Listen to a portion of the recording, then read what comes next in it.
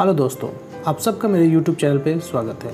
आज हम लोग बनाने जा रहे हैं बहुत ही इजी तरीके से होममेड एग करी इसके लिए सबसे पहले हम लोगों ने अंडों को हार्ड बॉयल कर लिया है और इसे टूथपिक की सहायता से अच्छे से इसमें हम लोग पिक कर देंगे ताकि जब हम लोग अंडे को फ्राई करें तो ये बीच से फटे नहीं।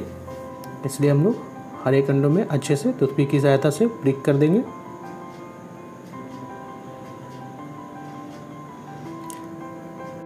एक करी बनाने के लिए हम लोगों ने यहाँ पे 200 ग्राम प्याज को अच्छे से डाइस कर लिया और साथ ही 200 ग्राम टोमेटो को भी डाइस कर लिया है। यहाँ पे हम लोगों ने पाउडर मसालों में लिया है कोरिएंडर पाउडर, साथ ही लिया है हम लोगों ने जीरा पाउडर, हल्दी पाउडर, सौफ़ का पाउडर। अंडा करी में सौफ़ का पाउडर बहुत अच्छा आता है, इसलिए सौफ़ पाउडर ज़रूर यूज़ करें, ब्लैक पाउडर, काश्मीरी मिर्ची और काला नमक। सबसे पहले हम लोग एक पैन लेंगे। पैन में दो टेबल स्पून तेल गरम कर लेंगे। तेल जब गरम हो जाए तो उसमें हम लोग प्याज डाल देंगे और प्याज को अच्छे तरह से हम लोग फ्राई कर लेंगे। प्याज को अच्छे तरह से हम लोग ट्रांसलूसेंट होने तक फ्राई कर लेंगे और जब ये स्टेज पे पहुँच जाएगा तो हम इसमें टोमेटो ऐड कर देंगे। और जैसे ही हम लोग टोमेटो ऐड करेंगे तो टोमेटो जल्दी से गल जाए, इसलिए इसमें हम लोग ऐड करेंगे हाफ़ टी स्पून नमक ताकि टोमेटो बहुत जल्दी से आसानी से गल जाए। और देख सकते हैं टोमेटो भी हमारा अच्छे से गल चुका है। इसे भी अच्छे तरह से फ्राई कर लेना और इसका ठंडा करके पेस्ट बना लेना है।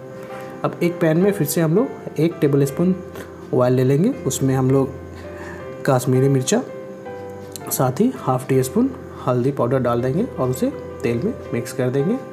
और इसमें हम लोग जो अंडे हैं, उसे अच्छे तरह से फ्राई कर लेंगे। यहाँ पे मैं यहाँ पे स्टीयर फ्राई कर हूँ। आप चाहो तो डीप फ्राई भी कर सकते हो। डीप फ्राई का टेस्ट थोड़ा सा और अच्छा आता है। तो आप चाहो तो आप डीप फ्राई भी कर सकते हो। अंडे हमारे रेडी है। उसी पैन में हम लोग दो टेबल स्पून मस्टर्ड ऑयल लेंगे। और तेल जब हमारा अच्छे से गर्म हो जाएगा तो उसमें हम लोग ऐड कर देंगे खरे गरम मसाले।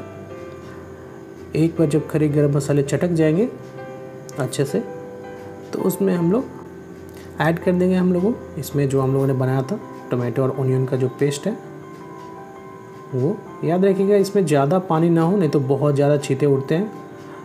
मेरे से यही हो गया कि बहुत ज़्यादा छीटे उड़ने लगे कि मैंने थोड़ा सा ज़्यादा पानी एक्स्ट्रा ऐड कर दिया था। इस ग्रेवी को अच्छे तरह से हम लोग फ्राई कर लेंगे। इसे बहुत ही अच्छी तरह से फ्राई करना होगा। एक बार जब इस स्टेज पे हम लोग पहुँच जाएँगे तो इसमें हम लोग ऐड कर देंगे जिंजर गार्लिक पेस्ट और इसे भी ग्रेवी के साथ अच्छे तरह से फ्राई कर देंगे।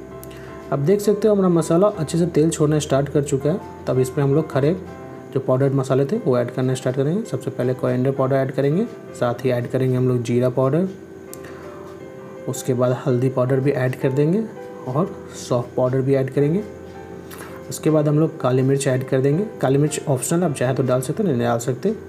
उसके बाद हम लोग कश्मीरी मिर्च ऐड करेंगे और साथ में ऐड कर देंगे हम लोग ब्लैक साल्ट और हल्का सा पाउडर्ड गरम मसाला और इन मसालों को हल्का सा पानी के साथ अच्छे तरह से हम लोग फ्राई कर लेंगे, ताकि जो पाउडर्ड मसाले हैं, वो हमारे जले नहीं। हल्का सा हम लोग पानी ऐड कर देंगे तो अच्छे से फ्राई हो जाएगा। देख सकते हो, हमारा मसाला अच्छे से फ्राई होना स्टार्ट हो चुका है, बहुत ही अच्छे तरह से फ्राई हो चुका है। अब इसमें हम लोग पानी ऐड कर देंगे, जितना हमारा ग्रेवी की ज़रूरत होगी, उतना हम लोग इसमें पानी ऐड कर देंगे, और साथ ही इसमें स्वाद अनुसार नमक भी ऐड कर देंगे। एक बार जब हमारी ग्रेवी में बॉयल आ जाएगा तो इसमें हम लोग जो हमारे फ्राई किए हुए अंडे थे, वो इसमें डाल देंगे और एक मिक्स देने के बाद इसे ढक के हम लोग पहली बार 10 मिनट के लिए पका लेंगे।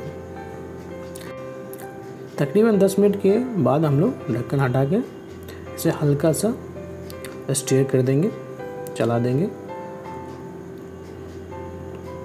और इस स्टेज पे अभी हम लोग ऐड करेंगे इसमें कसूरी मेथी।